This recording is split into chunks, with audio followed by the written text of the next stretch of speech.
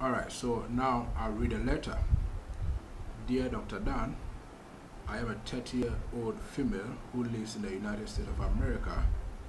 I've been in a relationship with my partner for three years and he still gets angry whenever I mention marriage. Even though he has made it very clear that he wants to be with me, but he has not taken any steps towards marriage with me. One of my friends has told me that my partner has a fear of commitment. What are some of the signs of fear of commitment? Why do men find it difficult to commit to a relationship? People with fear of commitment find it difficult to commit to longer term relationships or even marriage. So the question then is what are some of the signs of fear of commitment? Number one, avoiding making future plans with your partner. So you can see this in your partner in the sense that when you mention marriage, he gets so defensive, he might even become so angry, he might even insult you. This can be a clear sign that your partner is exhibiting a symptom of fear of commitment. So it's not that they don't love you, but it's just that they are, they, they are afraid to commit to a longer term relationship or marriage with you. It could be due to some insecurities that they have about the relationship. Number two, avoiding talking about the future of the relationship. So, for a partner who has a fear of commitment, when you make any attempt to talk about the future of the relationship with them, they would avoid this conversation. This is because for whatever things that they are going through, they don't see a future for the relationship at this moment. You know, they, they don't think that this relationship will even go into the future and they don't want to talk about it now. It depends on whatever they are going through. Maybe they don't see a future for this relationship at this point in time. They are just afraid to commit to a longer relationship, so they would never want to talk or have a discussion on the future of the relationship. The third point is delayed response to calls and also text messages. So for a partner who's afraid to commit to a longer term relationship or even marry with you, you will see that they delay in trying to respond to your calls or even your text message. They may take like four days, three days, even one week to respond to your call or even your text message. There's a clear indication that they are afraid to commit to the future because they know that if they respond promptly to your calls and also your text messages, the relationship will develop into the future or even to marriage. So they would rather delay responses to your calls and your text messages. Number four, lack of emotional attachment. So a partner who has fear of commitment would show no feelings at all or no emotions towards you or even towards the relationship. You know, because they are afraid to commit to you. So then they are also afraid to even invest their emotions or their feelings into you or even into the relationship.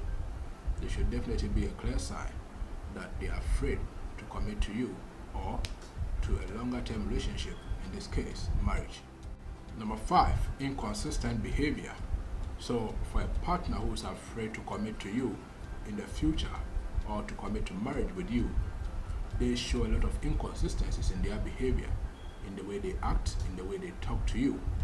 So, for example, today they can tell you that they see a future together with you or marriage with you. Next time they tell you no, they don't see a future with you, they don't see marriage with you. Such inconsistencies suggest to you that they are afraid, you know, they have some kind of fear about committing to a longer term relationship with you. In fact, they can't tell you a lot of lies. They should also make you know that they don't want to commit to a longer term relationship. Number six, always fighting or arguing with you. So, for a partner who has a fear of committing to a longer term relationship, one of the strategies that they use is that they always want to argue with you, they always want to fight with you. They use this kind of strategy because when there's almost always argument or even fights in a relationship, the relationship never develops. So that the relationship cannot even develop to a longer term relationship and then to marriage.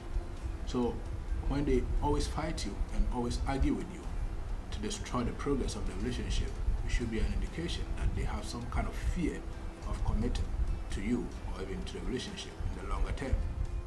Number seven, poor communication. For any relationship to develop or grow into a long term, good communication and also regular communication is very important. So if your partner is communicating less with you, there should be a sign that he or she does not want to commit to a longer term relationship with you.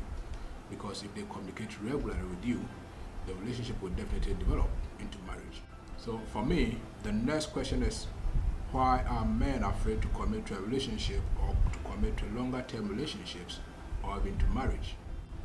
Number one, fear of not being in the right relationship.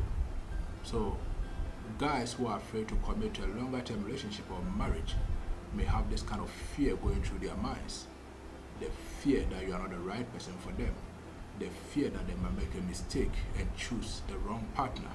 So this kind of thing that goes through in their head with this kind of fear that they are not with the right person can make them afraid to commit to you in the long term or even to commit to marriage. Number two, fear of being in an unhealthy relationship.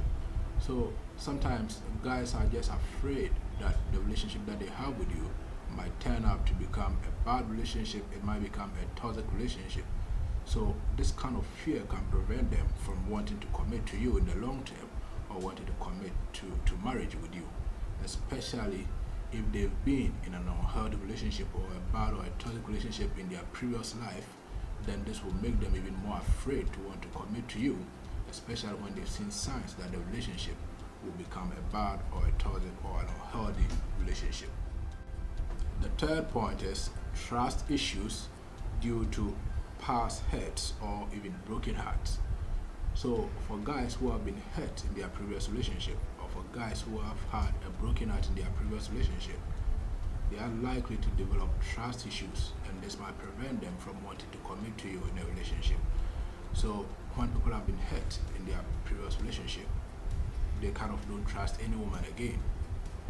You know, so for them to advance their relationship with you, they think that what happened to them from the previous woman will be the same thing that will happen. So this kind of trust issues will prevent a guy from wanting to commit to you, you know, in the long term or even to marriage.